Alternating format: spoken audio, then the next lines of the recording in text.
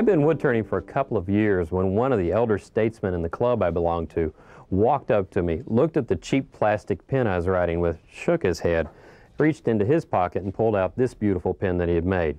He took it, put it in my pocket and said, every wood turner needs their own handmade pen, and he sent me on my way.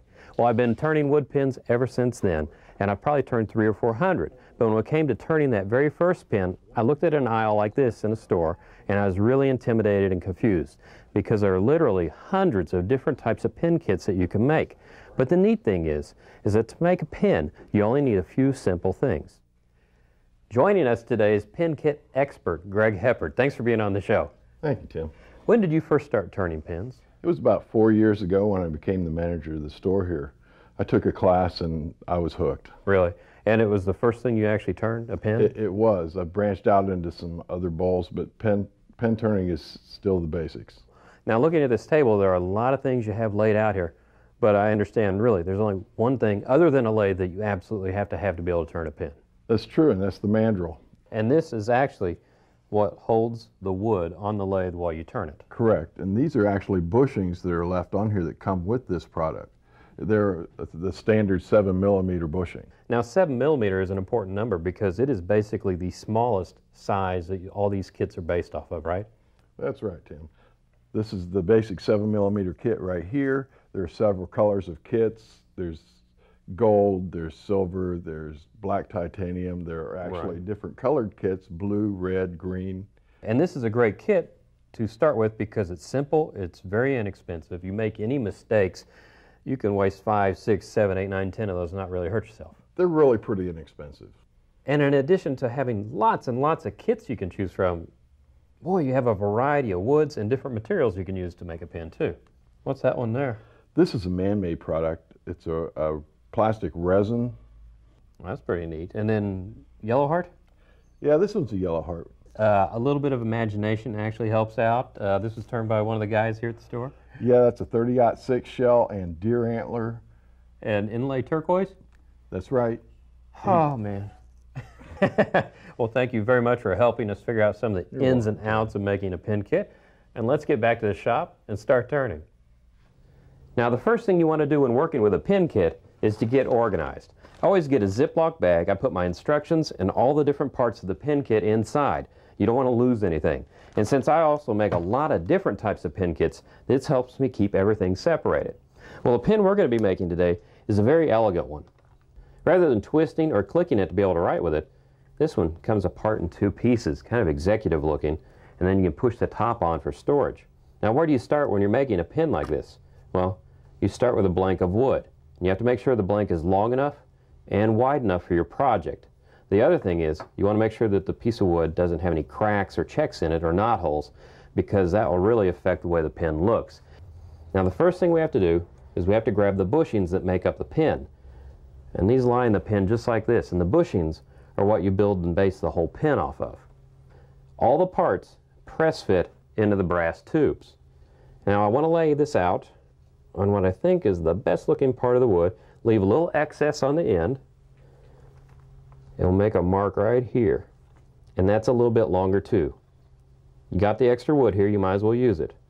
Same thing, I'm going to measure out this brass tube and mark it right here. Now the most important mark you can make of this whole thing is this line right here because when we cut this apart we're going to lose these lines and by making this mark we'll be able to match up our grain and they'll make the pen look really nice. And another thing to consider, if you're like me and you want to make a bunch of pins at one time, make sure that you mark these blanks 1, 1, and the next one's 2, 2. That way you keep the pairs matched and together. Let's go to the bandsaw. You can tell by my lines I'm not that worried about being very accurate, but I do want to make this cut fairly straight. That way I won't waste very much wood when I match the grain. Make our next cut.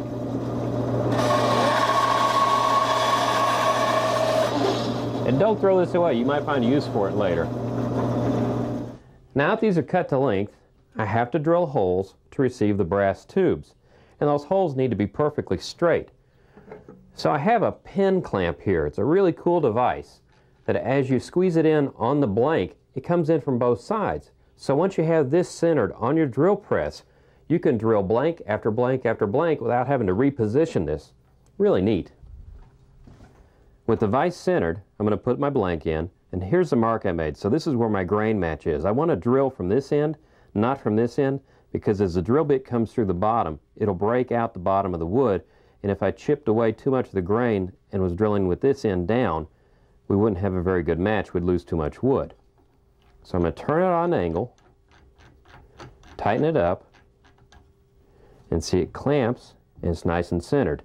Now I have my drill set at a slow speed, about 500 RPM. I don't want it to be too fast because it'll burn the wood and the heat could crack.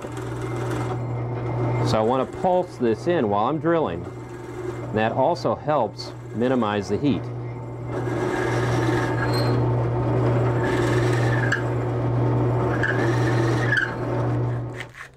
Now our next step, we want to glue the brass tubes inside of the blanks. Well, the brass tubes are pretty slick, so I'm taking some 80 grit sandpaper and I'm just scuffing up the surface because that'll give the glue something to grab onto on the brass. Now you can use a lot of different glues to put these together, making sure I have the right hole there. But I like to use polyurethane because it expands. And that way I'll get a really good grip and good contact all the way through the brass and on the wood. Just roll the blank and get a nice coating on there. You don't want to use too little glue, but you don't use too much either.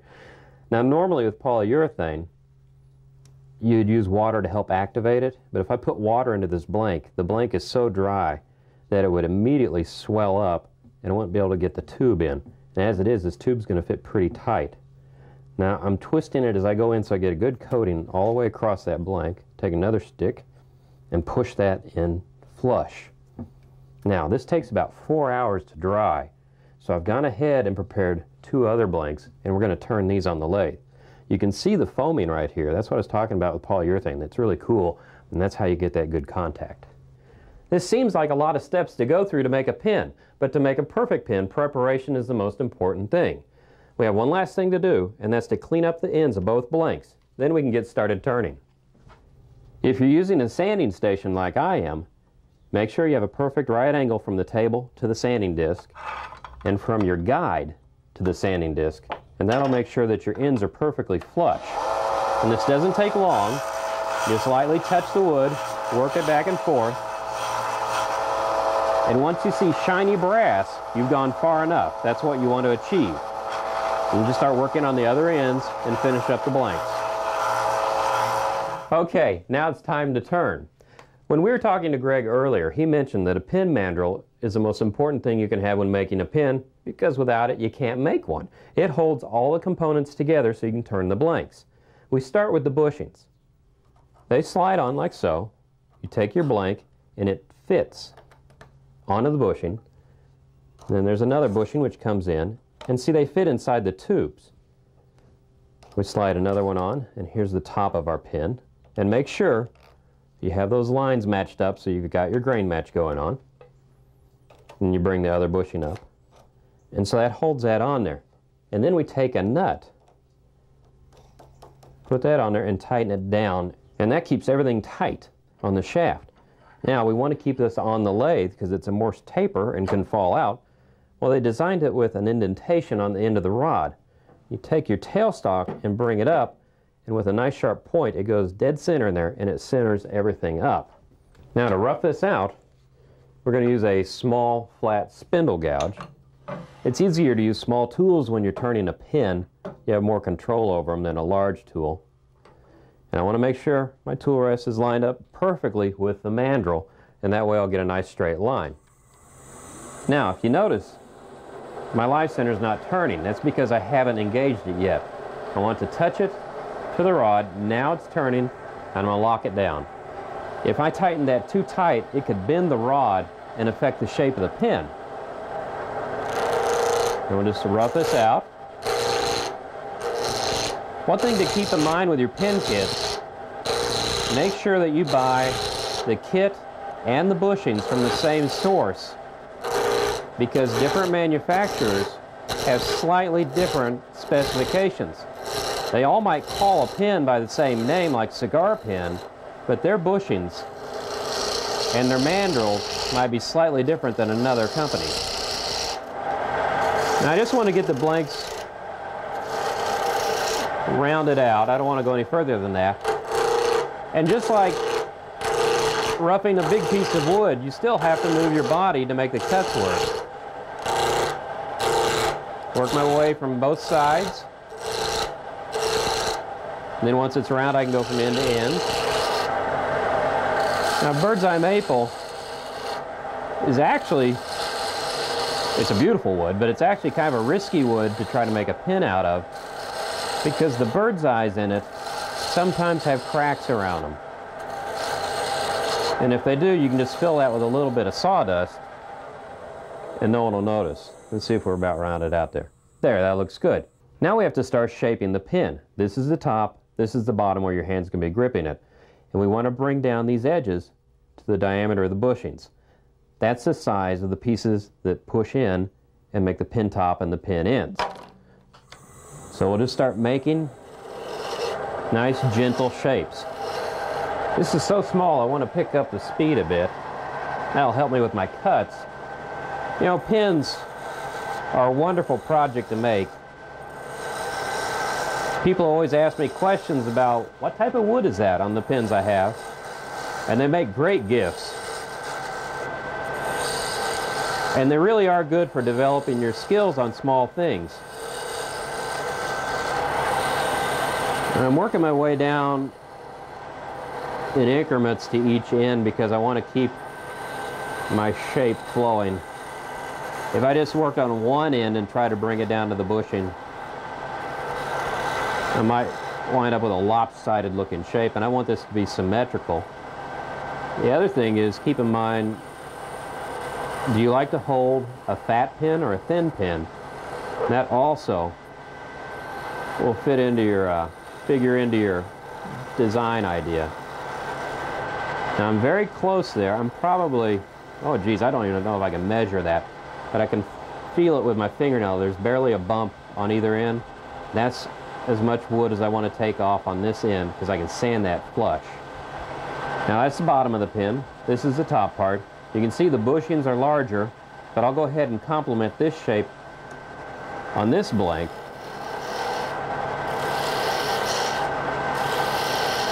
And it'll come out very nice, I think. This again is almost like making a bead. You want to sneak up on it a little bit at a time. I don't want to start right back here and plow my way into the bead. I want to gradually work the curve and work my way back. Because if I plow my way in from back here, I'll start tearing out the grain.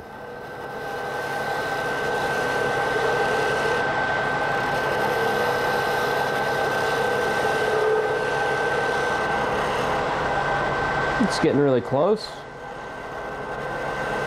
One last pass. Okay.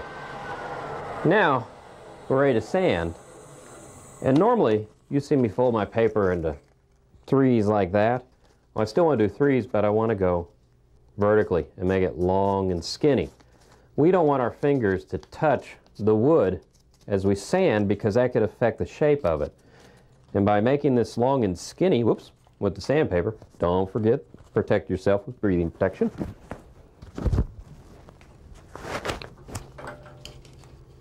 There we go. Move this out of the way. Anyway, if my fingers aren't pressing on the wood, I can get a better shape to the wood. I'll show you what I mean. Got to lower the speed here. Now we're going to take our sandpaper and we're going to suspend it like this and let it follow the curve. Now if I had my fingers up here and I'd be pushing, my finger could actually cause an indentation on the wood. So we just move back and forth. And I just gently work it into where the bushing meets the wood from both ends. And it doesn't take long with maple. See, that's flush already. Make sure you keep this moving because the wood is extremely thin at this point. If you build up any heat, it's going to crack.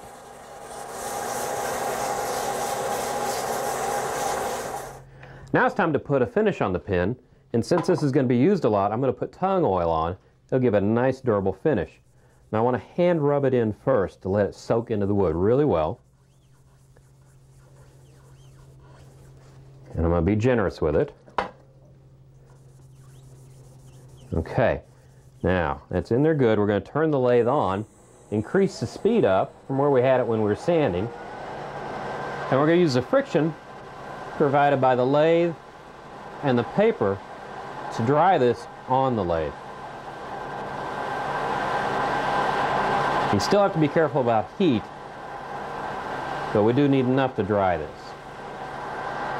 Let's see how that looks. Oh, doesn't that bird's eye just pop out? Now let me get the other side. Get it dried in there, there we go. Now I could apply a wax finish on here to really shine it up, but I like the matte finish, and the wax finish after a few days of use would go away anyway. So got that stopped. Move our tailstock back and take this off the lathe. Now make sure that you keep the orientation of the blanks the way they are because when you press this together in a second, you want your grain pattern to still match. There are a lot of pieces to this kit and it might look confusing, but that's why we have the instructions. They really help out. And when you look at a finish pin, it starts to make sense. The first thing we want to do is to press this piece in. And we're going to use a pin press to put it together. It's a really neat system completely adjustable so you can put different size pin parts on there. There's this little stem of wood that you can remove, but it holds the piece. So you don't need three hands to do this. And we gently press in, and it pushes it nice and tight and flush. Now the next part. Line this piece up. There, good tight fit. Now we get to put a couple of things together. And if you don't have a pin press, uh, you can use your drill press to start pressing these parts together. Or you can even use your lathe as a pin, pin press. It'll help you put some things together. There. Now we have the bottom half already finished. Let's start working on the top half. Now for the center ring,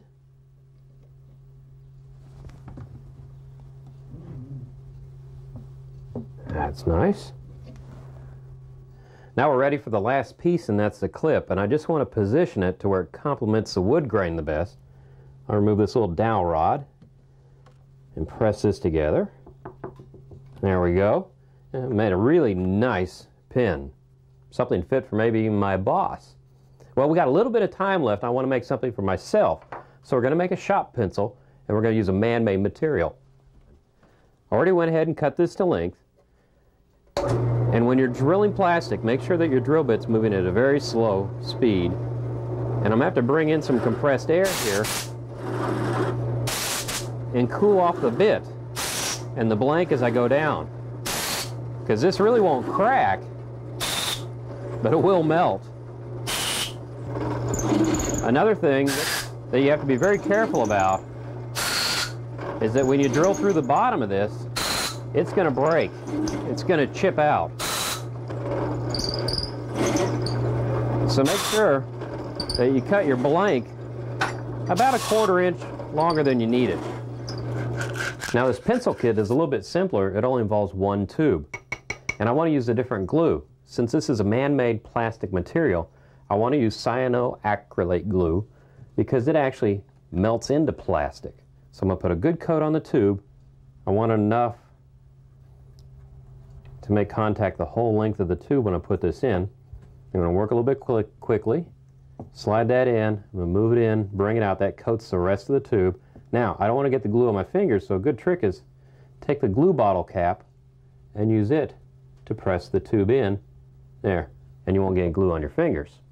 Now, once this sets up, I'm going to clean the ends with a pin mandrel.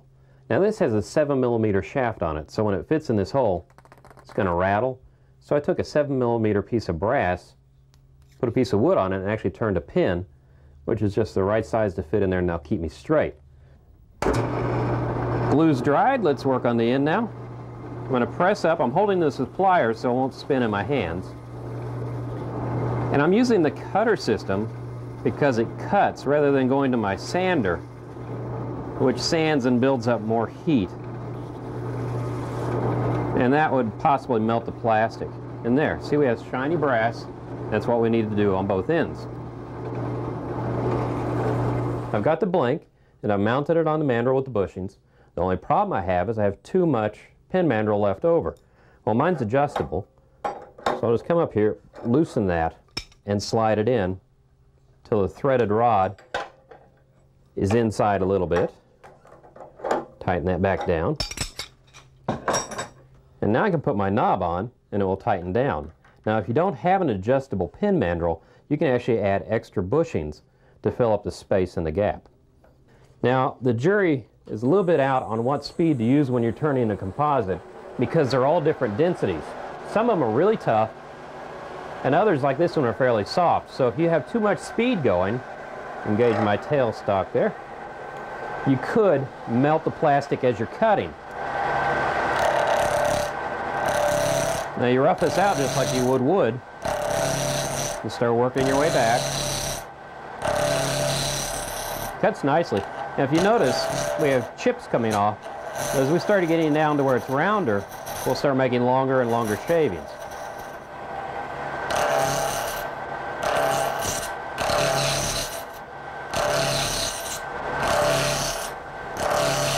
Now you might be wondering why I picked red.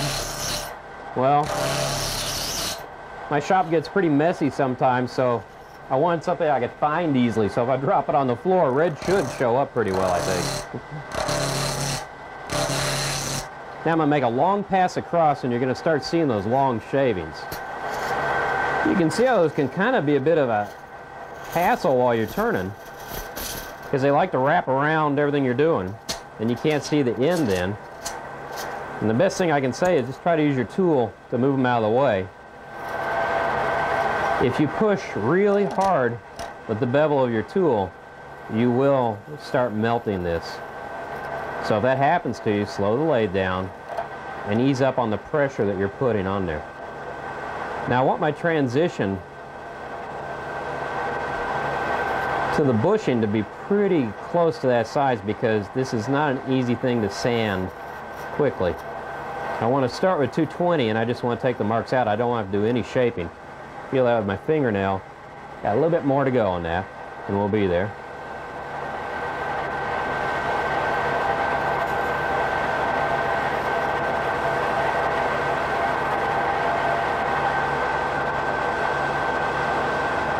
That looks good. Now I want to move to the other end, do the same thing to it.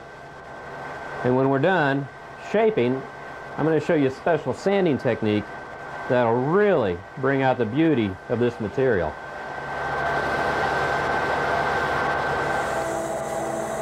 Now I've sanded all the way down to 600 grit, and that looks pretty good.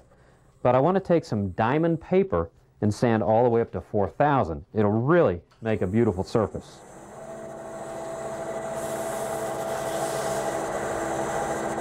Okay, here's our last grit, 4,000. And you see it's getting a beautiful shine right now. But I want to take it even a notch higher than that. And we're going to apply some plastic polish. So we're going to speed the lathe way up and apply the polish and buff it in. Now watch this thing pop out.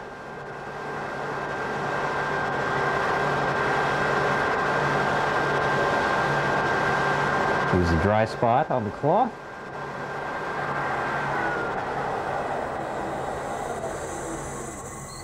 That is cool. Now let's put this pencil together.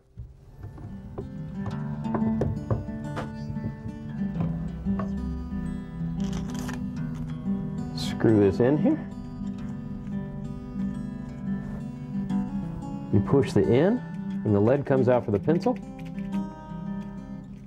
Pretty neat.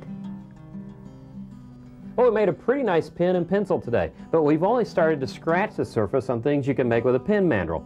You can make perfume atomizers, letter openers, even light pull chains. There's a whole lot of different kits out there, so just take a look, see what you want to start with and make. Well, until next time on the Wood Turning Workshop,